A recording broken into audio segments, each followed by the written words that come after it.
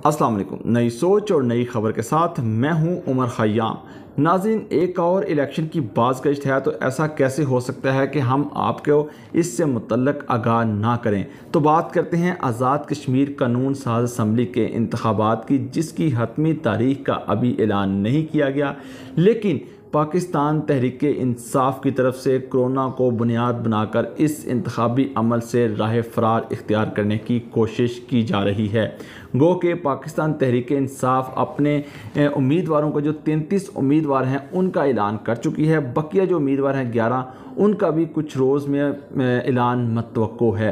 तो आज की हम इस वीडियो में तफसीली बात करेंगे कि पाकिस्तान तहरीक इंसाफ क्यों इंतबात को मुलतवी कराना चाहती है कुछ माह के लिए? इसके पस पर्दा हकीकत क्या है? साथ ही साथ, क्या पाक आज़ाद कश्मीर में कोरोना वाकई ही इतनी शिद्दत इख्तियार कर चुका है कि कुछ माह के लिए इन इंतबात को मुलतवी हो जाना चाहिए? इसके अलावा पाकिस्तान तहरीक इंसाफ की इस वक्त आज़ाद कश्मीर में क्या पार्टी पोजीशन है? और जो पार्टी में इतलाफ़ात की बाजगश्त है, उसमें कितनी सदाकत है? इसके साथ साथ पाकिस्तान पीपल्स पार्टी और पाकिस्तान मुस्लिम लीग नून का क्या मौक़ है, जो पाकिस्तान तहरीक इंसाफ चाह रही है इलेक्शन को मुलतवी कराने के हवाले से।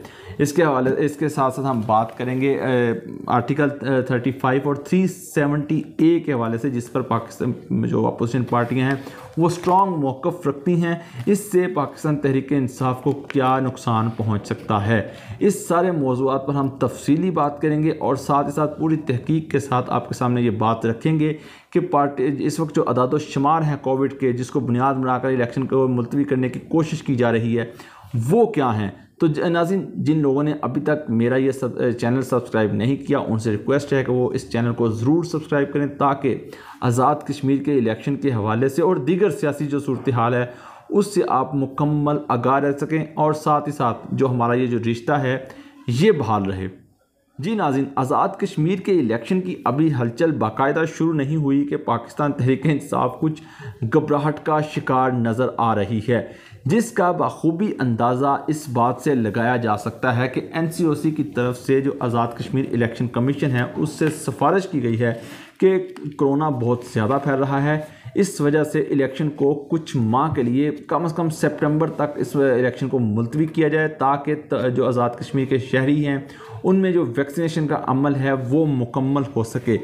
तो नाजिन इस सारे इस सिफारिश में हमें सियासत की जो है वो बदबू नज़र आ रही है क्योंकि आप जैसा कि आप जानते हैं कि एन सी ओ सी जिसके सरबरा पाकिस्तान तहरीक इंसाफ के सीनियर रहनमा और, और वफाकी वज़ी असद उमर हैं उनकी तरफ़ से ये इस्तः की गई है। तो हमें हम सबसे पहले अदद शुमार देख लेते हैं आज़ाद कश्मीर में इस वक्त जो लेटेस्ट सिचुएशन है कोविड की वो क्या है?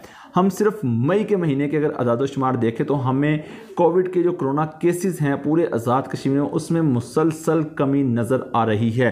अगर सिर्फ़ बात की जाए कि सिर्फ़ जो पाँच मई को इस माह में जो मई का महीना गुजरा है, इसमें सिर्फ़ 118 केसेस पाँच मई को देखने को मिले और उसके बाद कोरोना के जो केसेस की जो मुस्बत केसेस की जो शरह है, उसमें मुसलसल कमी देखने को मिली है।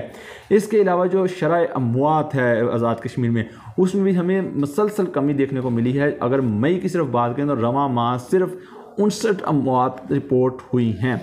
तो इसके साथ साथ जब अगर ये जो मार्च और अप्रैल के के अगर मुआजना किया है तो मार्च और अप्रैल में गंभीर सूरत हाल थी केसेस भी ज़्यादा थे शराह मवात भी ज़्यादा थी, लेकिन मई में ये सूरत हाल काबू में है। शराह मवात और शराह केसेस में वाजिया कमी आई है।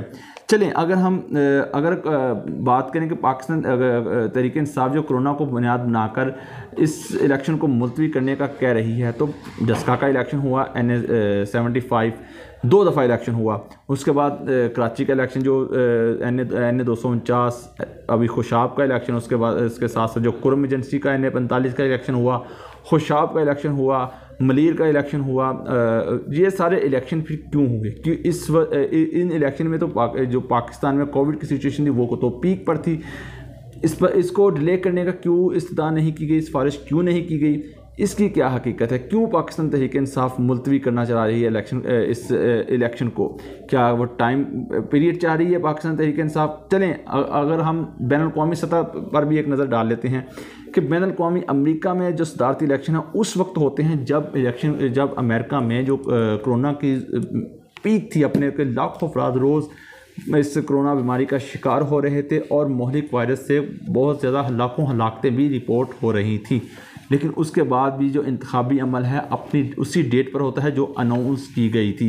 इसके अलावा चंद रोज़ पहले हमें लंदन में, बरतानिया में भी बलदियाती इलेक्शन होता हुआ दिखाई देता है कि जिसमें मेयर सादिक दोबारा लंदन के मेयर मंतखब होते हैं। कहने का मकसद ये है कि हर जगह इलेक्शन अपनी और ड्यू डेट पर हो रहे हैं। तो पाकिस्तान तहरीक इंसाफ को क्या इस, इस, सिलेक्शन में है कि जो मुलतवी कराना चाहती है इसमें इसमें हकीकत क्या है? ये वीडियो में आगे चलकर मैं आपको सारी हकीकत बताऊँगा। दो रोज़ कबल पाकिस्तान तहरीक इंसाफ की तरफ़ से जो उम्मीदवार हैं तैंतीस उम्मीदवारों का ऐलान किया जाता है जिसमें कुछ निश्चित हैं जिसके जिस पर अभी उम्मीदवार फाइनल नहीं हुए। वो देखते हैं कब पाकिस्तान तहरीक इंसाफ की तरफ़ से फाइनल होते हैं। और इसके साथ साथ पार्टी में इख्लाफात, जो मेन वजह है, इस वक्त पाकिस्तान तहरीक इंसाफ में, जैसे दूसरे हलकों में भी हमें अक्सर इख्लाफात नज़र आते हैं तो हमें आज़ाद कश्मीर में भी जो पार्टी ने सीटें तकसीम की हैं, उस पर वाज इख्लाफात नज़र आ रहे हैं। साथ ही साथ ब्रिस्टर सुल्तान महमूद और इस्लामाबाद में एक बड़े शॉपिंग मॉल के जो मालिक हैं, सरदार तनवीर वो भी, क्योंकि दोनों ही वज़ी अजम के आज़ाद कश्मीर वज़ी अजम ख्वाहिशमंद हैं, उनमें भी हमें जो है वो खींचा तानी नज़र आती है। इसके अलावा वज़ी अला गिलगित बल्तिस्तान खालद खुर्शीद की जानब से भी आज़ाद कश्मीर के इंतबात में अंदरूनी मदाखलत कर रहे हैं, वो भी एक भी वजह, एक इख्तलाफ की बायस बनी हुई है। पिछले दिनों P T I Azad Kashmir के कारकुनों और रहनुमाओं ने सैफुल्ला न्याजी की का घिराव किया और उन्हें बाकायदा ये उन्हें, ये कहा कि जो वज़ी अला हैं खालिद खुर्शीद, उनको इस सिलेक्शन से दूर रखें। अदरवाइज़ कश्मीर में जो बहुत शर्मनाक शिकस्त की वजह बन सकती है। तो इसके ज़िम्मेदार भी सैफुल्ला न्याजी और खालिद खुर्शीद होंगे। ये मकामी रहनुमाओं की तरफ़ से तंबी की गई है बाकायदा सैफुल्ला न्याजी को।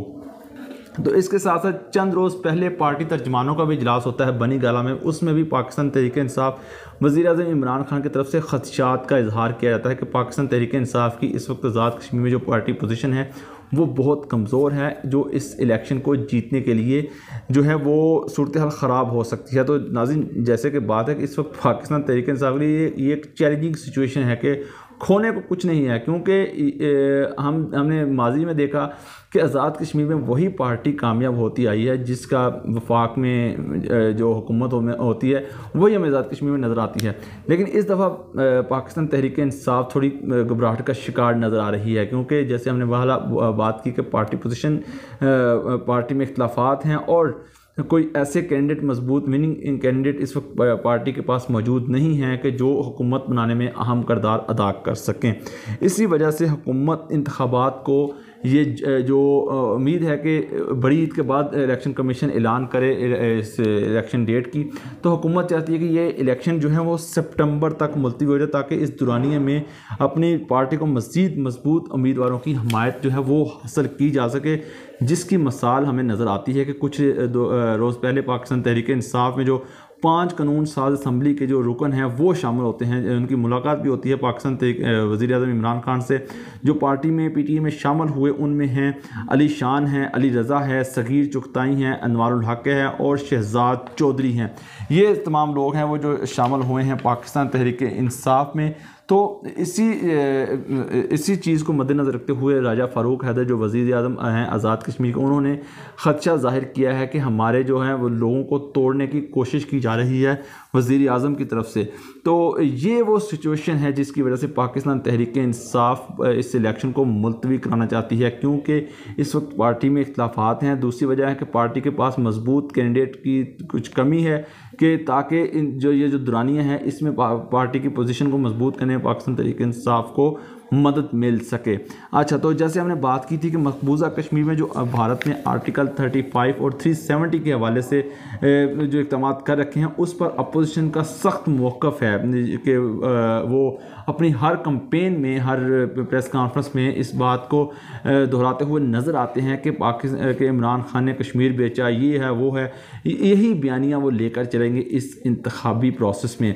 तो जो पाकिस्तान तहरीक इंसाफ को खौफ तो है कि इससे भी जो इंतबी अमल है, उसमें दचका लग सकता है। तो मुस्लिम लीग नून और पीपल्स पार्टी की तरफ़ से भी आज प्रेस कॉन्फ्रेंस की गई, जिसमें ये मौक़ यकसर मुस्तरद किया गया कि इलेक्शन बर वक्त होना चाहिए, इसमें तखीर नहीं होनी चाहिए। और इलेक्शन कमीशन की तरफ़ से भी बाबा ऐलान कर दिया गया है कि इलेक्शन में तखीर नहीं होगी, इलेक्शन बर वक्त होगा।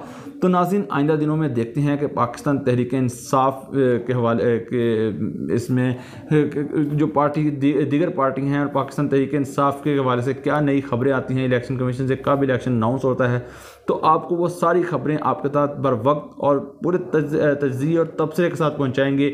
हम कोशिश करेंगे कि आज़ाद कश्मीर के जो हमारे जर्नलिस्ट दोस्त हैं, उनसे भी बात करें और ताकि वो जो ग्राउंड रियलिटी है, ग्राउंड सिचुएशन है पार्टी की पोजिशन क्या है, किस पार्टी का पलड़ा भारी है, वो आपके साथ मुकम्मल आगाह करते रहेंगे। तो आज की इस वीडियो में इतना ही। मुझे दीजिए इजाज़त। आप ये इस चैनल को ज़रूर सब्सक्राइब करें और अपनी जो राय है, उसके हवाले से ज़रूर कमेंट सेक्शन में आप, हमें आगाह करें। Thank you. Allah Hafiz.